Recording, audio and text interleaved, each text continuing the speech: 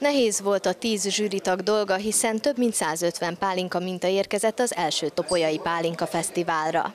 Illat, íz és összhang. A pálinka e három tulajdonságát értékelték nemzetközi pontozási rendszer alkalmazásával. Amikor ezeket a, a pontokat odaadjuk, odatérjük 8 pontot az illatra, 8 pontot az ízre, akkor 16 pontot kapunk, és a 4 pont pedig az összhangra van előlátva, és amennyiben egy terméket sikerül úgy értékelünk, egy több számú és több bíráló részéről, akkor lehetséges az, hogy 20 ponttal rendelkezik az a pálinka. A téli fagyok miatt csökkent a szilvatermés, a rendkívül meleg nyár pedig a kajszi baraszknak okozott leginkább problémát.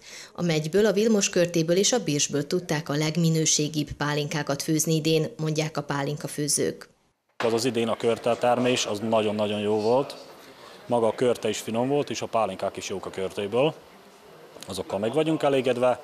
Most, aminek van a szezonja, az a bírsalma. A bírsalmáról annyit kell tudni, hogy ő is az idén, ugyanúgy, mint a körte, nagyon sokat termett, és ízben, illatban is nagyon-nagyon jó pálinkák lesznek Bécsből.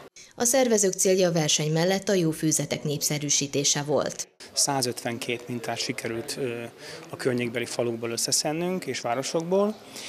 Ami a pálinka bírálást illeti, olyan zsűritagokat választottunk, akik nem csak szeretik, hanem értenek is a pálinka főzéshez. Tulajdonképpen ők nagyba szolgáltatnak pálinka főzés Topolya területén. Az ünnepélyes díjkiosztót szombaton tartják a Ciha vendéglőben. A verseny győztesét egy Penová centre festménnyel jutalmazzák, valamint a turisztikai iroda jóvoltából a legjobb pálinkák készítői serlegekkel térhetnek haza.